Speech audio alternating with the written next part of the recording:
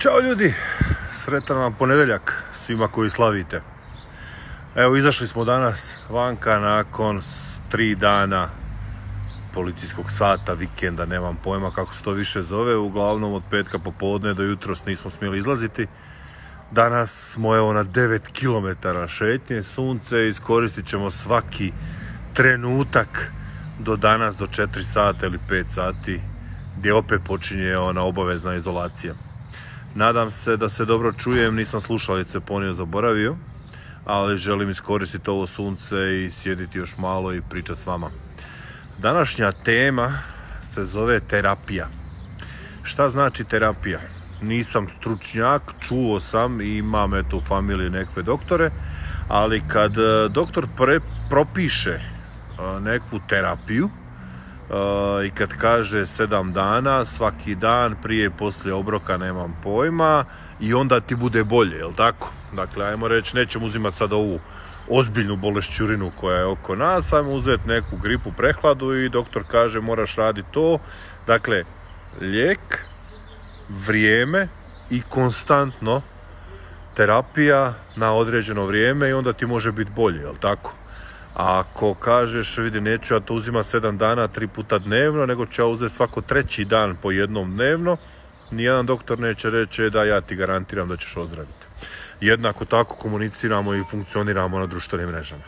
Vrlo često nas pitate šta moram napraviti, kako moram napraviti.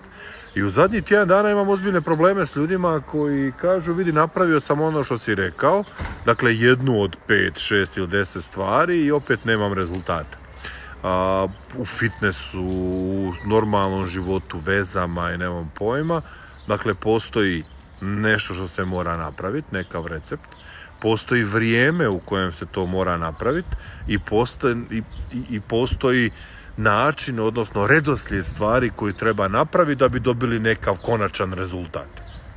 Tako i u prodaji. Dakle, ključno što se mora raditi prva stvar aktivacija stranice. Dakle, bez broja ljudi, dakle bez prometa, bez nekog većeg broja ljudi koji će vidjeti vaš sadržaj, ne možete očekivati krajnji rezultat.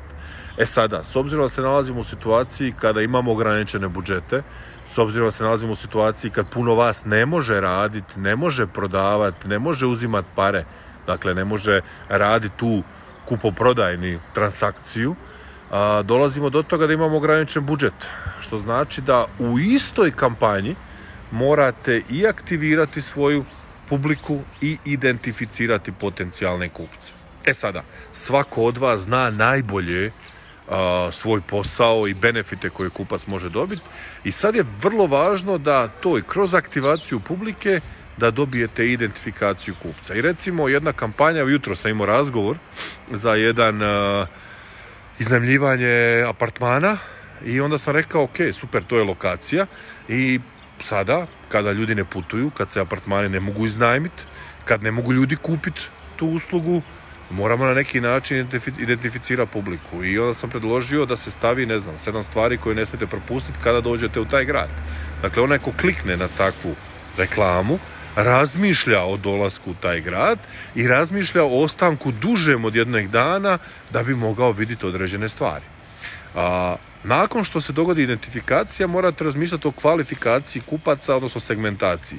Nije svak kupac koji reagira na vašu reklamu. Ne znači da će kupiti odmah. Dakle, mi tražimo ekonomskog kupca. Tražimo osobu, neku na internetu, koja će pokazati da joj treba ono što vi radite, pokazat će interes.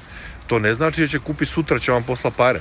To znači da je vam pokazala dovoljno pažnje, ajmo tako reći, da vam kaže, ok, super, mene zanima to što vi radite, e sad treba određeno vrijeme da bi se da, da bi ta osoba odlučila i rekla da ja sam vam spreman dati vaše, dati svoje novce, jel tako? Dakle, to je identifikacija ekonomskog kupca i kvalifikacija na osnovu nekvih njihovih interesa. Što imamo tu?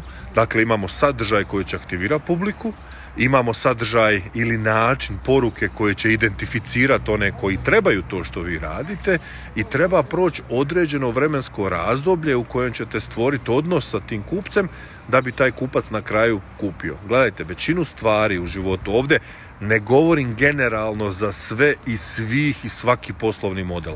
Ovdje govorim za one stvari s koje mi imamo iskustva. Ali u većini slučajeva, za sve što je skuplje od 50 ili 100 eura, treba nam otprilike 30, 35, možda i više od 45 dana da donesemo odluku. Svi mi skupa. To je vrijeme u kojem kad reagiramo na reklamu, tražimo informaciju. Dakle, treba nam informacija, treba nam sadržaj, treba nam ponuda, odnosno treba nam, treba nam savjet. Dakle, mi se informiramo o određenim stvarima prvi put kad nešto vidimo. A onda, kroz komunikaciju sa našom publikom, kroz stvaranje odnosa, kroz dostavljanje kvalitetnog sadržaja, korisnog, zabavnog, interesantnog sadržaja, stvaramo odnos sa svojom publikom i taj odnos će biti ona razlika kad se sredi situacija zašto će neko nama dati svoje pare, a ne nekome treći. To je moje iskustvo, ne moram biti u pravu i nisam u 100% slučajeva u pravu, ali iskustvo od preko 200 naših studenata, nekih 150 naših klijenata, potrošnje preko pola miliona eura godišnje na Facebook reklame nam pokazuje otprilike da je to neko ponašanje koje može dovesti do toga da imate konstantan prihod od prodaje sad preko interneta ili ne preko interneta. Ja kad kažem da se na Facebooku ne prodaje, kažem u većini poslovnih modela se ne prodaje direktno, na Facebooku se reklamira, na Facebooku se dolazi do ljudi jer ljudi tamo jesu, Facebook koristimo da identificiramo ekonomske kupce, one ljude koji trebaju ono što mi radimo, chatbot, e-mail, komunikaciju koristimo da ih kvalificiramo, kroz neku automatiziranu seriju poruka da dobijemo informaciju, a onda dalje ovisno od vašeg poslovnog modela, hoćete to napraviti preko web stranice, preko Facebook poruka, preko telefonskog poziva, direktno na webu, dolaskom u prodavnicu, sastankom uživo ili tako dalje, onda se prodaje.